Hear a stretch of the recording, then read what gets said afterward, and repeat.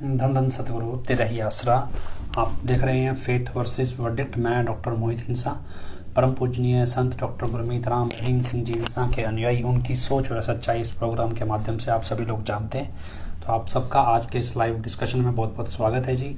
आज 18 अप्रैल का दिन है और इस दिन शहनशाह, साई शाह मस्ताना जी महाराज ने अपना शरीर त्यागा था 1960 में। और शा, शाह मस्ताना जी महाराज डेरा सच्चा सौदा के संस्थापक हैं डेरा के सत्संगी ये सारी बात जानते हैं। तो आज के दिन हमने स्पेशल लाइव रखा है। थोड़ा इसलिए भी आपको शहनशाह मस्ताना जी महाराज के कुछ वचन और उनके बारे में कुछ जानकारियाँ आपके साथ बांट सकें। तो एक ग्रंथ है रूहानियत के सच्चे रहबर भाग एक। शाह मस्ताना जी महाराज के जीवन पर आधारित तो उसमें कुछ अंतिम समय को लेकर शाह मस्ताना जी महाराज के ज़िक्र है तो वो मैं आपको कुछ पढ़ के सुना देता हूँ, क्योंकि मैंने भी वो पढ़ा नहीं है, मैं पहली बार पढ़ूँगा। तो आप भी मेरे साथ सुन, पढ़िए, सुनते रहिएगा। बाकी कुछ और नई चीज़ जो इसमें दिखेगी, वो थोड़ी बहुत एक है, वो भी आपको पढ़ के सुनाते हैं। धन धन सतगुरु, तेरा ही आसरा। ये लगभग 415 नंबर पेज है, रूहानियत के सच्चे रहबर भाग एक। अंतिम यात्रा के संकेत।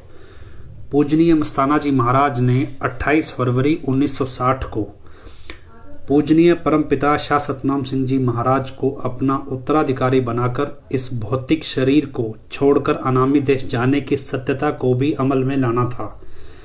आप जी ने चोला बदलने से पहले ही अपनी अंतिम यात्रा के संकेत देने शुरू कर दिए थे। गाँव गंधेली जिना हनुमानगढ़ की संगत ने गाँव गंधेली जिला हनुमानगढ़ की संगत ने आप जी के चरणों में अपने गाँव में सत्संग करने की विनती की। इस पर आप जी ने फरमाया है, फेर पड़ गया है, ज़रूर आएँगे ज़रूर आएँगे, सीधे गंधेली आएँगे। तुम पर मुसीबत आने वाली है, जल्दी से जल्दी जाओ और अनाज संभालो। अपने अंतिम समय से कुछ समय पूर्व आप जी ने रानिया जिला सिरसा के एक अत्यंत सुंदर आश्रम जिला सिरसा में एक अत्यंत सुंदर आश्रम बनवाया। वहाँ आप जी ने फरमाया, जैसे माँ बाप को सबसे छोटा बच्चा सबसे प्यारा होता है, उसी प्रकार यह डेरा सबसे छोटा है, सबसे बाद में बनाया इसलिए हमें बहुत प्यारा लगता है। वहाँ दीवार निकाल रहे कारीगरों को फरमाया, जल्दी करो, हमने फिर नहीं आना। सन 1960 में 10-11 अप्रैल की बात है, अनामी गुफा के साथ वाले कमरों की चिनाई हो रही थी। भक्त भंवरलाल, भक्त मनीराम तथा भक्त करतार सिंह आदि मिस्त्री चिनाई की सेवा में लगे हुए थे। आप जिन्हें उन सेवादारों को बार बार फरमाया, जल्दी करो जल्दी करो, आंधी आने वाली है। इन्हीं दिनों की बात है कि बलूचिस्तान से दो भाई तथा एक बहन आप जी के दर्शन करने के लिए आए। उन्होंने आप जी को बताया कि उनके पासपोर्ट की अवधि समाप्त होने वाली है। इस पर आप जी ने फरमाया कि अपनी भी पासपोर्ट की अवधि समाप्त होने वाली है। 12 अप्रैल को पूजनीय मस्ताना जी आश्रम के बगीचे में टहल रहे थे। आप जी ने भक्त भंवरलाल को अपने पास बुलाया और अपने साथ चलने को कहा। पूज्य शहनशाह जी भक्त भंवरलाल को दरबार में बने बड़े हॉल वाली जगह पर ले गए और नीचे ज़मीन की ओर इशारा करते हुए बोले, इस जगह पर हमारी बाडी छूटेगी। भक्त भंवरलाल ने कहा, कि साईं जी, आप ऐसा क्यों बोलते हैं? हमारा क्या होगा? पूज्य सतगुरु जी ने आगे फरमाया, बाजीगर की बाजी को किसी ने नहीं समझा। सब नोटों के यार बने। वास्तव में वह जगह वही थी जहाँ पर पूज्य मस्ताना जी महाराज का अंतिम संस्कार किया गया। और उसी जगह पर शाह मस्ताना जी धाम में सात संगत के आराम करने के लिए सचखंड हॉल बना हुआ है। सरसा शहर के एक भक्त ने शहनशाह मस्ताना जी से मुंबई जाने के लिए आज्ञा मांगी। शहनशाह जी ने इनकार कर दिया, परंतु उस भक्त ने दोबारा आज्ञा दोबारा आज्ञा मांगने पर आप जी ने आज्ञा दे दी और साथ ही फरमाया, भाई, चले तो जाओ, परंतु 16 अप्रैल से पहले पहले आश्रम में ज़रूर पहुँच जाना। कुछ अन्य भक्तों ने इसी प्रकार जाने की आज्ञा मांगी तो उन्हें भी यही हुक्म फरमाया। 14 अप्रैल 1960 को आप जी ने दरबार के एक सतब्रह्मचारी को फरमाया, अपना शो दिल्ली से निकालें या रानिया से? फिर स्वयं ही उत्तर दिया, दिल्ली से ही ठीक रहेगा। तो बेपरवा मस्ताना जी का शो निकालने का भावार्थ अंतिम यात्रा से था। पूज्य मस्ताना जी महाराज ने भक्त रौनक राम को फरमाया, जाएँगे, लेकिन सात साल बाद बाडी धार के आएँगे। 16 अप्रैल 1960 को दिल्ली जाने से पूर्व आप जी ने सभी सेवादारों को अपने पास बुलाया, उन्हें अपने पवित्र कर कमलों से प्रेम निशानियाँ प्रदान की और तथा प्रसाद भी दिया। आप जी ने फरमाया, जितनी जितनी भी किसी ने सेवा की है, वह सब दरगाह में मंजूर है। तुमने सतगुरु के वचनों में रहना है। गुरु गुरु करना है। यहाँ आंधियाँ भी आएँगी, तूफ़ान भी आएँगे। इससे आश्रम को कोई फ़र्क नहीं पड़ेगा। डेरा दिन दुगनी, रात चौगुनी तरक्की करेगा। चाहे कोई चारपाइयाँ सोने की बनाए, चाहे कोई सारी धरती का ही सोना बना दे, परंतु तुमने किसी के पीछे नहीं लगना। हमने प्रभु प्रभु के हुक्म से, सतनाम सिंह को आत्मा से परमात्मा किया है। उनको सतगुर बनाया है। इनको हमसे भी बढ़कर मान, समझना है। चाहे कुछ भी हो जाए, किसी भी कीमत पर डेरा सच्चा सौदा, सरसा के दर को नहीं छोड़ना।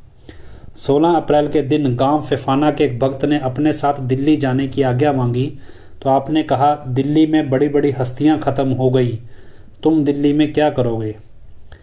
गद्दी निशीनी के बाद 13 अप्रैल 1960 की संध्या को परम पिता शासक नाम सिंह जी महाराज के पूज्य मामा श्री वीर सिंह जी आश्रम में आए, तथा आप जी के चरणों में विनती की कि सरदार सतनाम सिंह जी को चार दिन के लिए गाँव जलालाना साहिब में भेज दो ताकि वे अपने घर के कारोबार व आषाढ़ी की फ़सल का आड़तियों से हिसाब, अपना हिसाब किताब व लेन देन निपटा आए आप जी ने पूज्य मामा सरदार वीर सिंह जी का आग्रह मान लिया। अगले दिन पूज्य परम पिताई जब अपने गाँव जाने के लिए आप जी से आज्ञा लेने आए तो आप जी ने फरमाया दो तीन दिन लगाकर आ जाना, बहुत घाटा पड़ता है। पूज्य परम पिताजी आप जी के हुक्म अनुसार गाँव श्री जलालाना साहब चले गए। यहाँ पर यह, यहाँ यह स्पष्ट किया जाता है कि शाह मस्ताना जी ने परम पिता शाह सतनाम सिंह जी महाराज को 28 फरवरी 1960 के दिन डेरा सच्चा सौदा की गुरुगद्दी सौंपकर अपना उत्तराधिकारी नियुक्त कर दिया था।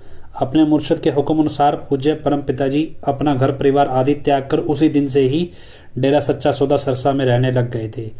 पूज्य परम पिताजी का गाँव श्री जलालाना साहब में कृषि का बहुत बड़ा कारोबार था। उस समय पूज्य परम पिताजी के साहिबजादे सरदार रंजीत सिंह जी छोटी आयु में थे। पूज्य मामा सरदार वीर सिंह जी ने पूज्य परम पिताजी के घर की जिम्मेवारी संभाल ली थी। अंतिम यात्रा की तैयारी। 16 अप्रैल 1960 के दिन आप जी ने सेवादारों को अचानक दिल्ली चलने का हुक्म दिया। उस समय दिल्ली में आप जी के काफ़ी श्रद्धालु थे। उनमें से कुछ पूज्य बाबा सावंत सिंह जी महाराज से नाम प्राप्त किए हुए थे। वे आप जी से भी उतना ही प्रेम करते थे जितना पूज्य बाबा जी से। आप जी उनके इस प्रेम के सदका ही दर्शन देने के लिए दिल्ली जाते रहते थे। दिल्ली जाने की सभी तैयारियाँ लगभग पूरी हो चुकी थी। पूज्य परम पिता शासक नाम सिंह जी महाराज श्री जलालाना साहिब से वापस आश्रम में पहुँच चुके थे। दरबार में जो कार्य चल रहा था, आप जी ने उसे सुबह ही पूरा करवा दिया था। दरबार के अंदर दो छोटे छोटे गड्ढे थे। आप जी ने उन्हें मिट्टी से भरवा दिया। तभी आप जी ने फरमाया, भाई, आश्रम की सेवा तो मुकम्मल हो गई है। आगे एक नया दर खुलेगा। इसके बाद आश्रम के सभी सतब्रह्मचारी सेवादारों को आप जी ने अपने पास बुलाया और उन्हें अपना हार्दिक स्नेह प्रदान किया, उनमें से दो सतब्रह्मचारी काफ़ी छोटी आयु के थे। आप जी ने उनको कहा, वरी, तुम्हारी कैसे गुजरेगी? फिर थोड़ी देर चुप रहने के बाद सभी सतब्रह्मचारी सेवादारों को फरमाया अच्छा भाई, सबकी भक्ति मालिक की दरगाह में मंजूर है। जिसने जितनी भी सेवा की है, सबको मालिक की दरगाह से बारह वर्ष की भक्ति का फल देते हैं। यदि कोई घर गृहस्थी में जाना चाहता है या कोई अपना कारोबार करना चाहता है तो उसे आज्ञा है। यदि कोई भक्ति करना चाहता है तो यहाँ आश्रम में ही रहे। इसके बाद आप जिन्हें सभी सतब्रह्मचारी सेवादारों की अलग अलग सेवाएँ लगाई और सबको अपनी रहमत का प्रसाद दिया। अंत में आप जिन्हें दादू पंजाबी लांगरी से लंगर का एक प्रसादा मंगवाकर उसमें से आधा लंगर वहीं पर खा लिया। फिर उन सबके सामने वचन फरमाया, वरी सच्चे सौदे का इतना ही टुक्कर रोटी का टुकड़ा। खाना बाकी था।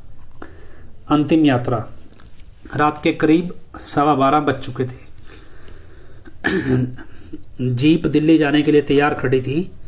आप जी ने अपने द्वारा बनाए इस दरबार को बड़े अदब के साथ सजदा किया। आप जी ने कुछ सेवादारों सहित जीप में सवार होकर दिल्ली की ओर रवाना हो गए। वास्तव में आप जी हर बार बात बात पर अपने अंतिम समय का इशारा बराबर ही कर रहे थे। परंतु यह बात किसी को समझ में नहीं आई। आप जी जीप में ड्राइवर श्री हजारा लाल जी के साथ आगे वाले सीट पर विराजमान थे। पीछे वाली सीट पर पूजनीय परमपिता शासत नाम सिंह जी महाराज, भक्त बुल्ला, भक्त गोविंद मदान तथा तीन चार अन्य सेवादार भी बैठे थे। रोहतक पहुंचकर आप जी ने भक्त शेर सिंह के घर चलने का संकेत दिया। आप जी ने थोड़ी देर के लिए शेर सिंह के घर विश्राम किया। यहाँ से रवानगी की समय आप जी ने जीप में ना बैठकर भक्त सूद साहिब की कार में पीछे वाली सीट पर बैठ गए। भक्त सूद साहिब की कार में पीछे वाली सीट पर बैठ गए, जबकि हमेशा आप जी ड्राइवर के साथ आगे वाले सीट पर बैठा करते थे। उस दिन कार में बैठते समय आप जी ने फरमाया, आज पीछे बैठकर चलेंगे। आप जी कार की पीछे वाली सीट पर लेट गए और कहने लगे, वापस भी लेट कर चलेंगे। इतना इशारा देने पर भी किसी की समझ में कुछ नहीं आया। दिनांक सत्रह अप्रैल आप जी दिल्ली पहुँच चुके थे। सत्रह अप्रैल को आप जी ने सात संगत को दिल्ली के मुख्य स्थानों पर घुमाया। घूमना व घुमाना तो मात्र एक बहाना था। वास्तव में आप जी का उद्देश्य अपनी पावन दृष्टि से जीवों का उद्धार करना तथा अपने साथ गई संगत को शिक्षा देना था। आप जी सात संगत के साथ बिरला मंदिर गए तथा उसकी सुंदरता पर आश्चर्य प्रकट करते हुए फरमाया, एक इंसान की कारीगरी पर लोग कितनी सराहना करते हैं। परंतु जिस सतगुरु ने स्वयं इस इंसान को बनाया है, उसका कोई नाम ही नहीं लेता। उसके पश्चात आप जी दिल्ली के सफदरजंग के कुछ राजाओं, महाराजाओं तथा नजामुद्दीन ओलिया की कब्रों पर भी गए। थोड़ी बहुत संगत आप जी के साथ थी। आप जी ने फरमाया, देखो भाई, इन कब्रों पर गंदगी तथा पक्षियों की बिठें आदि पड़ी हैं। इनकी कोई कदर नहीं है। इसके बाद आप जी फकीर की कब्र पर गए तथा फरमाया, देखो, यहाँ कितनी सफ़ाई है। मालिक का गुणगान हो रहा है। कवालियाँ बोली जाती हैं। यहाँ कितनी कदर है। पहले जो यहाँ रूहानियत थी वही आज सामने खड़ी है। वहाँ पर कुछ लोगों ने आप जिसे नामदान के लिए प्रार्थना की तो आप जी ने स्पष्ट शब्दों में फरमाया, भाई, अब हम नाम शब्द सतनाम जी की बॉडी में बैठ कर देंगे। संगत की पहले से भी ज़्यादा संभाल करेंगे। दिनांक 18 अप्रैल। 18 अप्रैल की सुबह आप जी बहुत जल्दी उठ गए। सेवादार को भी जल्दी उठा लिया। बुल्ले ने कहा, बाबा जी, अभी तो सुबह के अढ़ाई बजे हैं। इस पर आप जी ने उसे डांटते हुए कहा, अरे, तू क्या समझ सकता है इस रार को? आप जी ने सबको प्रसाद बांटा। वहाँ आमों की एक टोकरी रखी हुई थी। उस टोकरी में से एक सुनहरी रंग के आम पर आप जी की पावन दृष्टि टिकी हुई थी। आप जी ने उस आम को अपने पवित्र कर कमलों से उठाया तथा सेवादारों को दिखाते हुए फरमाया, भाई, इस आम को कोई भागों वाला ही खाएगा। इसके बाद आप जी ने उस आम को अपने मस्तक से लगाया तथा पूजनीय परम पिता शाह सतनाम सिंह जी महाराज की ओर इशारा करते हुए फरमाया सरदार सतनाम सिंह जी, तुम्हें यह आम देते हैं, ऐसा ही रंग निकालना।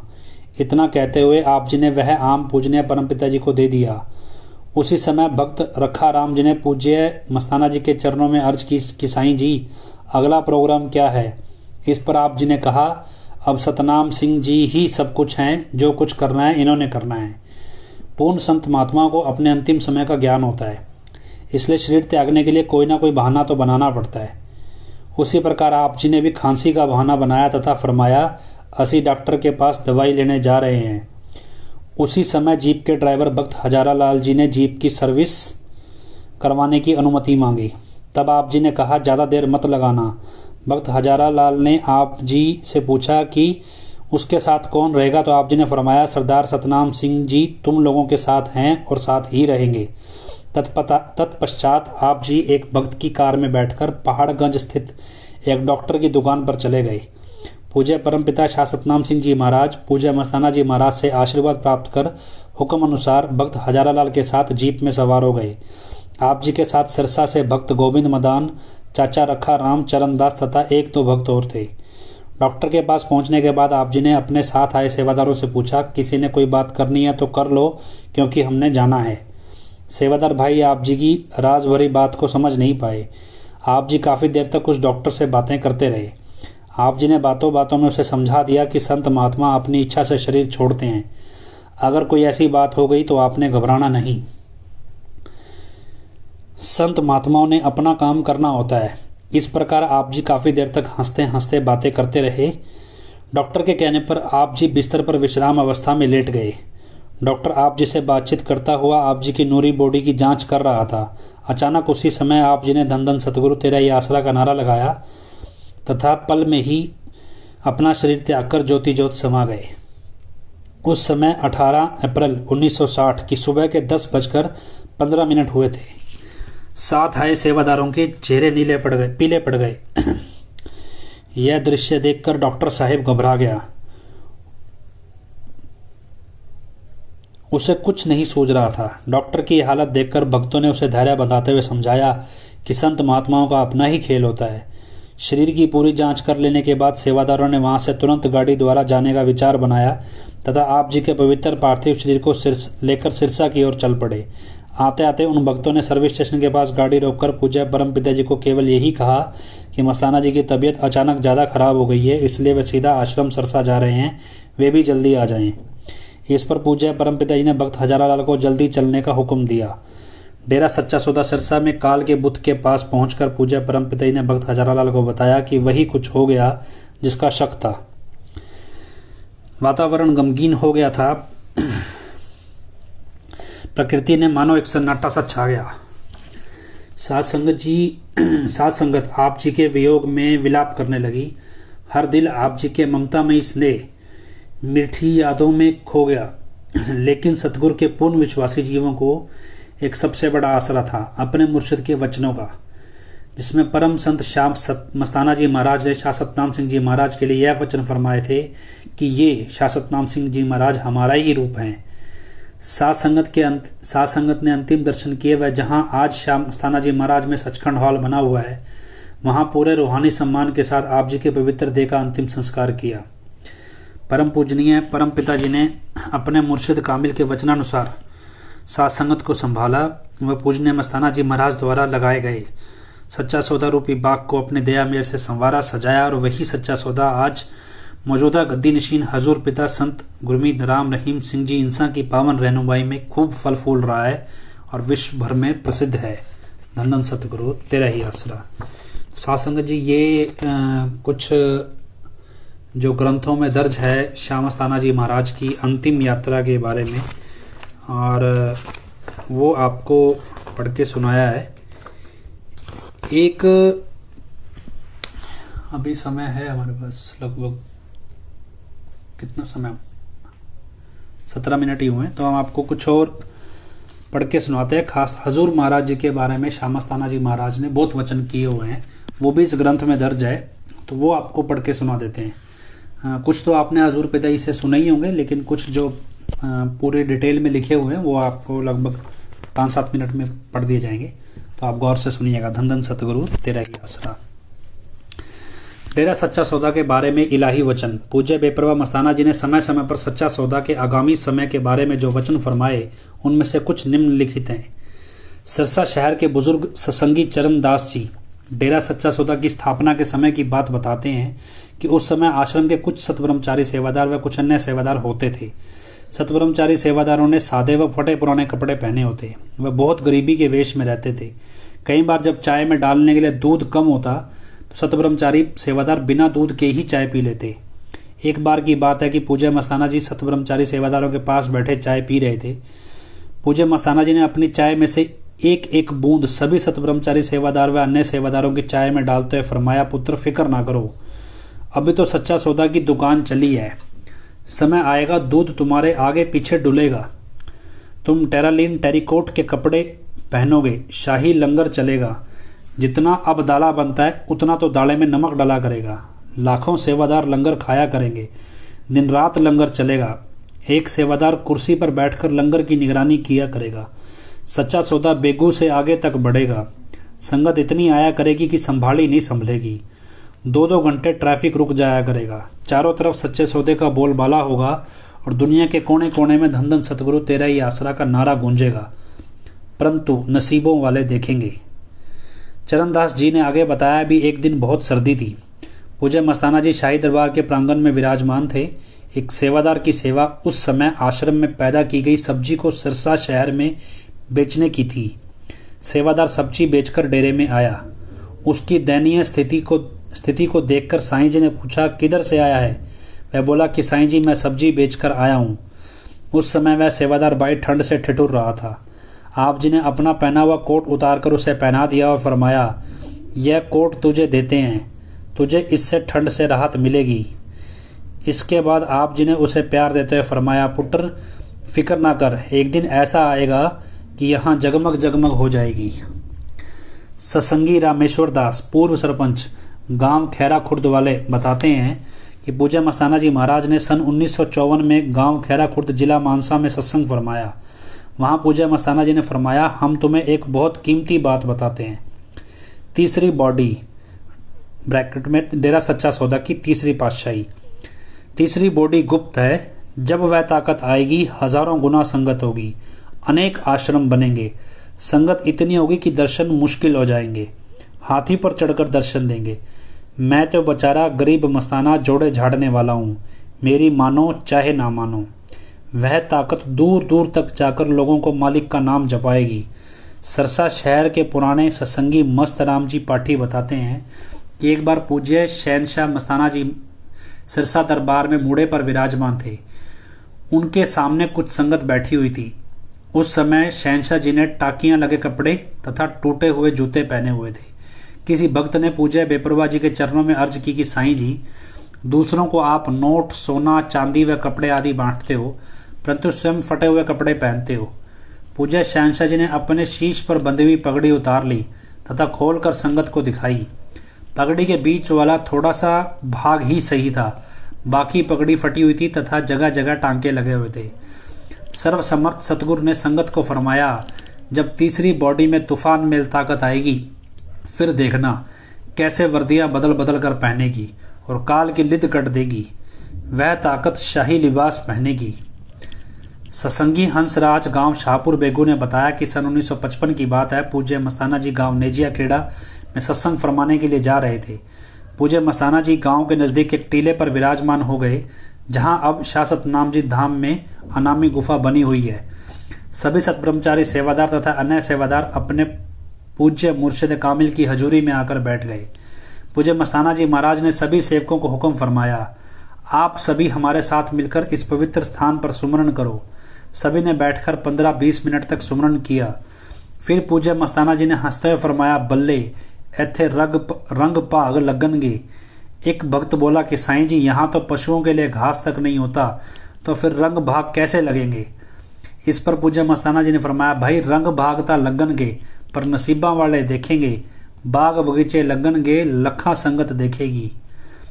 हंसराज नंबरदार गाँव शाहपुर बेगू वाले बताते हैं कि सन उन्नीस के दिसंबर महीने में गाँव नेजिया खेड़ा में पूजा बेपरवा मस्ताना जी महाराज का सत्संग का कार्यक्रम था। सात संगत ने बहुत ही जिज्ञासा के साथ वह सत्संग सुना। सत्संग की समाप्ति के उपरांत पूज्य मस्ताना जी नेजिया खेड़ा के साथ लगते बड़े बड़े बालू रेत के टीलों की ओर चल पड़े। यह वही टीले थे जहाँ अब डेरा सच्चा सौदा शासत नाम जी धाम बना हुआ है। बेपरवा जी के साथ कुछ सेवादार भाई भी थे। आगे आगे ढोल वाला ढोल बजाता हुआ जा रहा था तथा पीछे पीछे बेपरवा मस्ताना जी और अन्य सेवादार चल रहे थे। बेपरवा जी ने सबसे बड़े टीले को निहारा तथा उसके ऊपरी सिरे पर खड़े हो गए शिखर पर। आप जी ने वहाँ से अपनी पावन दृष्टि चारों ओर डाली। कुछ सेवादार इस मनमोहक दृश्य का आनंद ले रहे थे तथा दर्शनों का लाभ उठा रहे थे। तभी बेपरवा जी ने फरमाया किसी रोज यहाँ शाही दरबार बनेगा। इतना सुनते ही गाँव महमदपुर रोई वाला भाई रूपा बिश्नोई बोला कि साईं जी, इतनी रेत रेत उठाते उठाते उठाते सारी संगत की उम्र गुजर जाएगी, एक कोना भी नहीं उठ पाएगा। इस पर इस पर बेपरवाजी बोले तो फिर बनेगा, ज़रूर बनेगा, यहाँ ताकत पूरा रंग दिखाएगी। सतनामपुरा ढानी सतनामपुरा ढानी ब्लाक रानिया रामपुर थ्रेडी से भक्त उजागर सिंह जी बताते हैं कि डेरा सच्चा सौदा सिरसा में चिनाई का कार्य बड़ी ज़ोर शोर से चल रहा था। सत्संगी नाहर सिंह भी अन्य सेवादारों के साथ चिनाई की सेवा कर रहा था। पूज्य बेपरवा मस्ताना जी के पीछे खड़े हुए उन्हें देख रहे थे। नाहर सिंह बोला कि, साईं जी, हमारे पास आकर देखो काम कैसे चल रहा है। सेवादार के इस प्रेम को देखते हुए बेपरवा मस्ताना जी उसके, उनके पास गए और उन्हें निहारते हुए फरमाने लगे बल्ले, चाहे सारी उम्र लगे रहो, सच्चे सौदे का काम नहीं मुकेगा।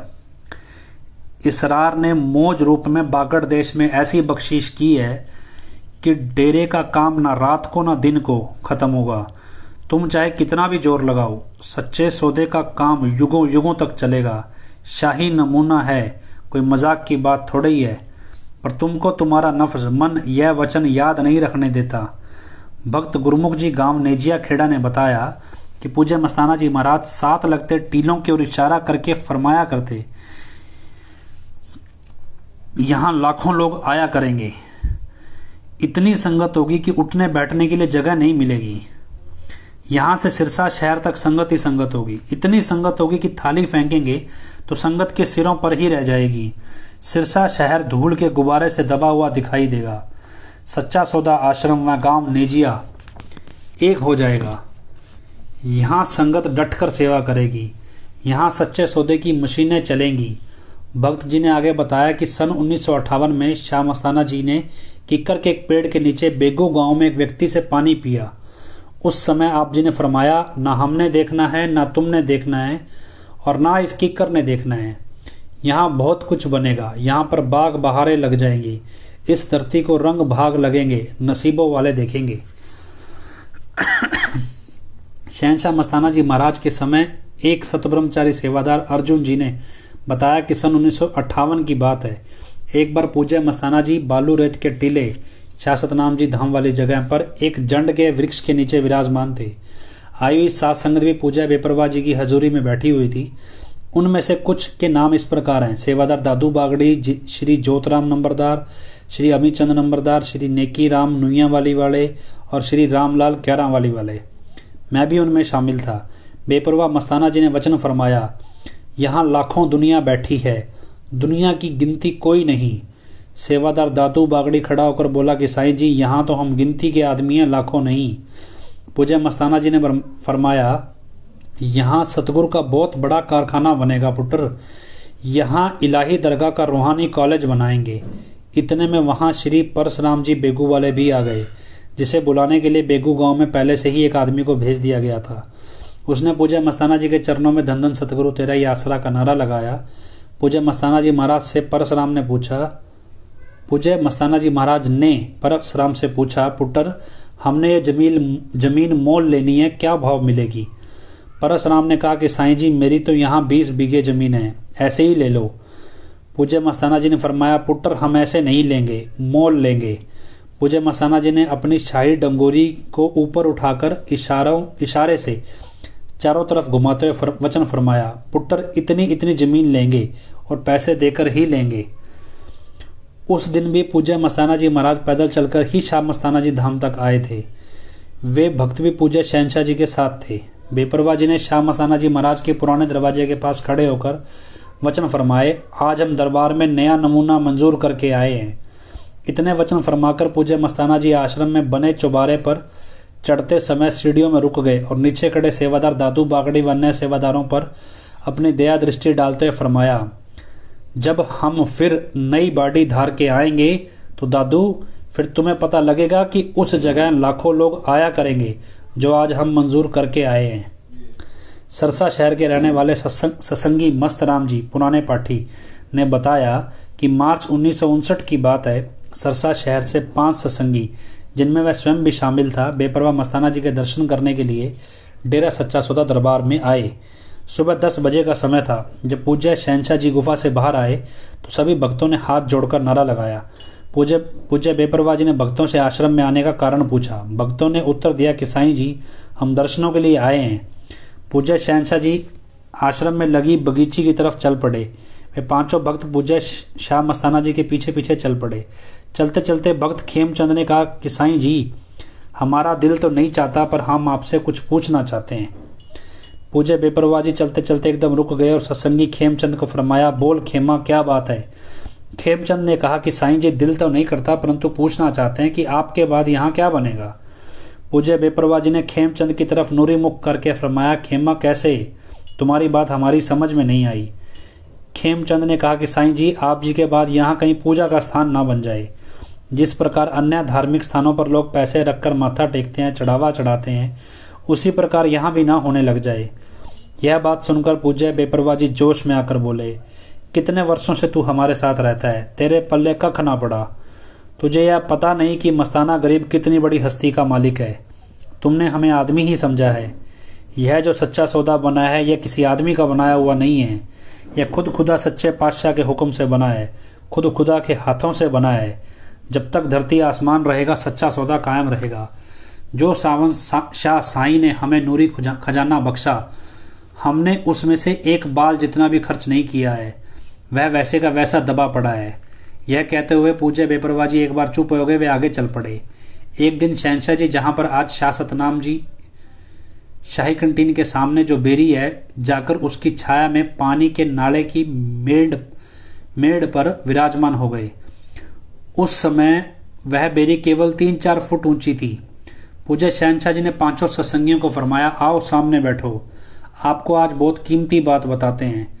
जो सतब्रह्मचारी सेवादार आश्रम में रहते हैं, वह सारा दिन व रात के दस बजे तक कसी चलाते हैं, सेवा करते हैं। रात को तीन बजे के बाद उनको सोने का हुक्म नहीं होता। हम खुद सतब्रह्मचारी सेवादारों को उठाकर सुमरण पर बिठाते हैं। जो संगत आती है, वह भी सुमरण करती है।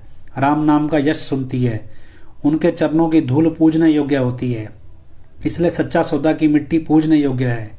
हमारे बाद एक ताकत ऐसी आएगी जो बहुत काम करने वाली, बहुत पावर वाली तथा तूफ़ान मेल ताकत होगी। जिस प्रकार एक रेलगाड़ी पैसेंजर होती है, एक एक्सप्रेस तथा एक तूफ़ान मेल होती है, वह तूफ़ान मेल ताकत होगी। वह ताकत जो काम करेगी, उसके बारे में हम आपको बताते हैं। हमने तो मकान बनाए और गिराए, वह ताकत भी मकान बनाएगी। अगर वह आसमान से उतारना चाहे तो बने बनाए मकान उतार सकेगी। हमने सोना, चांदी, रुपया, कपड़ा वगैरह बांटे। परंतु वह ताकत अगर हीरे जवाहरात बांटना चाहे तो बांट सकेगी यह उसकी अपनी मर्ज़ी है। हमारे बाद एक समय ऐसा आएगा जब लाखों की तादाद में संगत होगी। उस ताकत की हाथी जितनी ऊँची स्टेज बनेगी तो दर्शन हुआ करेंगे। सन 1960 के शुरू की बात है, उस दिन डेरा सच्चा सौदा का बड़ा गेट सात संगत के लिए खोला गया था।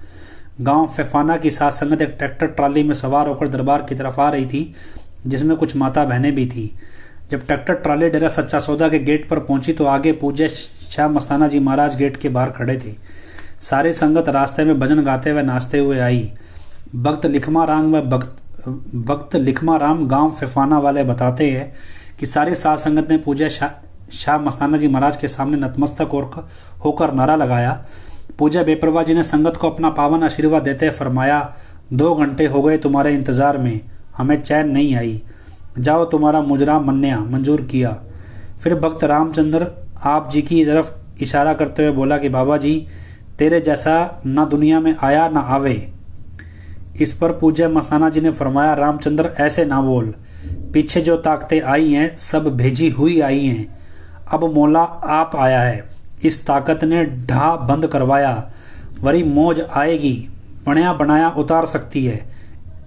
इतनी पावर लेकर आएगी। पूज्य मस्ताना जी अक्सर फरमाया करते कि तीसरी बॉडी खुफिया तौर पर है। मौके पर बताया जाएगा।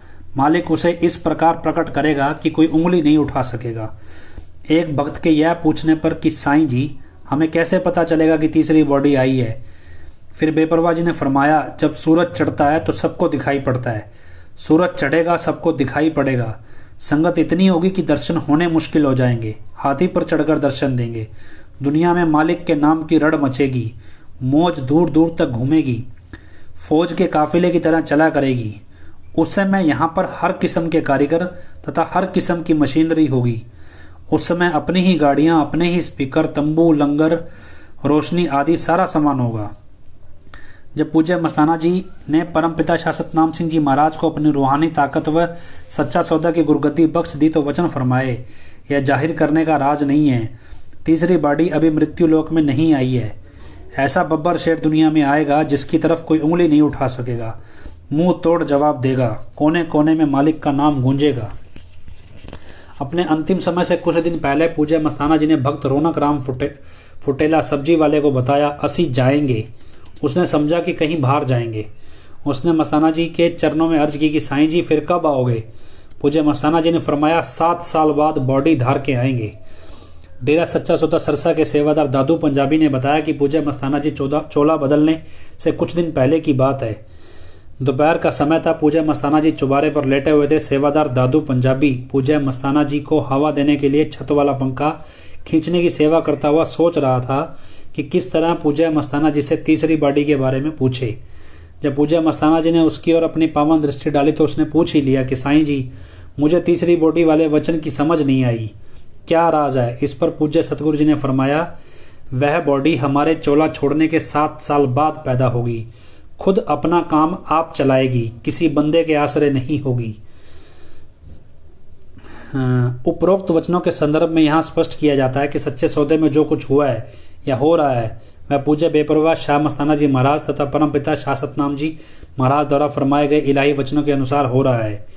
पूज्य शाह मस्ताना जी महाराज के वचनानुसार यहाँ बने बनाए मकान उतरा करेंगे। यह स्पष्ट है कि अब पूज्य मौजूदा हजूर पिता संत गुरमीत राम रहीम सिंह जी की रहनुमाई में इमारतों का निर्माण इतनी जल्दी हो जाता है कि ऐसे लगता है जैसे मकान आसमान से उतर रहे हैं।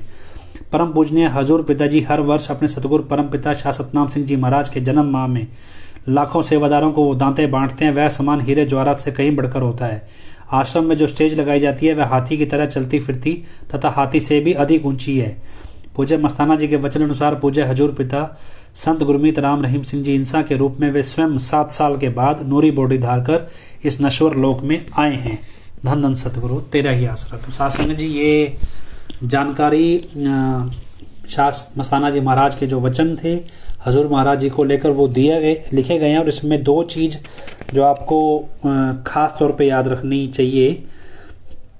वो ये है कि जब इसमें एक चीज़ लिखी है भी मालिक उस बॉडी को ऐसे ज़ाहिर करेगा कि कोई उंगली नहीं उठा सकेगा। तो मतलब वो अभी ज़ाहिर होनी है। कई बार हम चीज़ों को समझते नहीं है क्योंकि ज़ाहिर होने का मतलब होता है सारी दुनिया में ज़ाहिर होना। वो इस तरह से मालिक ज़ाहिर करेगा। आ, ये एक चीज़ इसमें इम्पोर्टेंट है। आ, मतलब जो आपको आज के समय में समझनी है। और इसके अलावा एक और चीज़ इसमें जो सबसे इम्पोर्टेंट मुझे लगा कि वह ताकत खुद अपना काम आप चलाएगी, किसी बंदे के आश्रय नहीं होगी। जबकि आज जो ये दिखाना चाहते हैं कि हमारे आश्रय है, ऐसा नहीं है।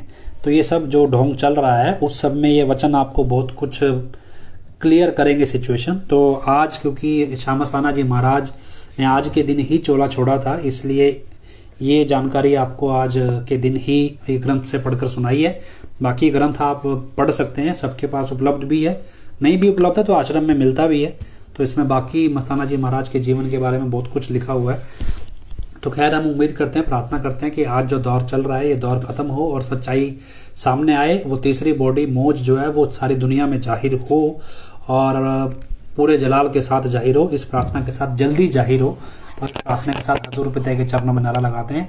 धन धन सतगुरु, तेरा ही आसरा, धन धन सतगुरु, तेरा ही आसरा, आखिरी में अरदास बोलते हैं धन धन सतगुरु, तेरा ही आसरा, हे मालिक, तुझे इलाज है।